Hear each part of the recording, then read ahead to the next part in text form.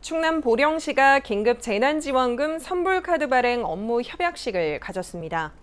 협약에 따라 시는 긴급 재난지원금 대상자 선정 및 카드 교부를, 하나은행은 선불카드 무상지원 및 충전금을 신속하고 안전하게 관리하게 됩니다. 선불카드는 2022 보령 해양 머드박람회 캐릭터를 배경으로 약 2만 5천 매가 제작 배부되며 읍면동을 통해 18일부터 신청 접수합니다.